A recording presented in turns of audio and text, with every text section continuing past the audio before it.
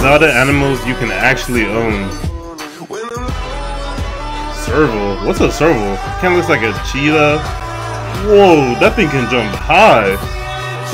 Okay, and it can open doors apparently.